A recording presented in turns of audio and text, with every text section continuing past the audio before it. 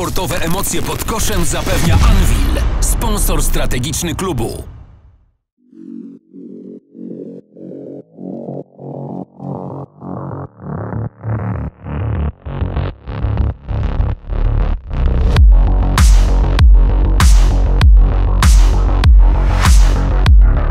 Najpierw oprawa godna świętej wojny, a następnie wielkie emocje na parkiecie. Mecze Anwilu Włocławek ze Śląskiem Wrocław zawsze były czymś wyjątkowym i nie inaczej miało stać się w 20. kolejce Energa Basket Ligi.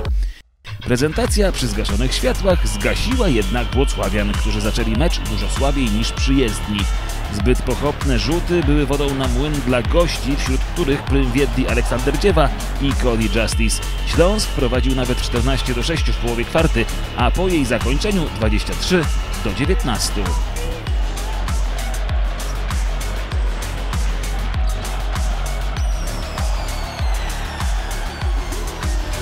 Ekipa Przemysława Frasunkiewicza przyzwyczaiła do tego, że początki meczu ma nieco ospałe. Drugiej kwarcie dla gości na początku punktował Kanter, ale Anvil odpowiadał udanymi akcjami Dykesa i Petraska. W 15 minucie wyszedł nawet na prowadzenie 34-32. W tym momencie swoją chlebkę w hali mistrzów znalazł Johna Matthews, który rzucił 13 oczek. Włocławianie zbudowali kilkupunktową przewagę, ale Śląsk jeszcze przed przerwą, głównie rękami Travisa Trice'a, zdołał przełamać Rottweilery i na przerwę schodził prowadząc dwoma punktami 50 do 48.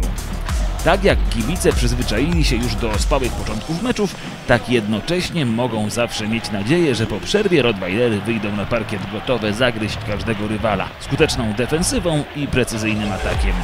Kendall Dykes raz po raz dziurawił kosz Śląska z półdystansu.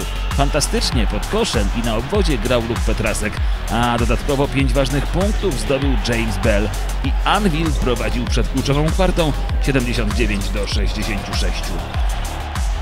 Wydawać by się mogło sytuacja wręcz komfortowa.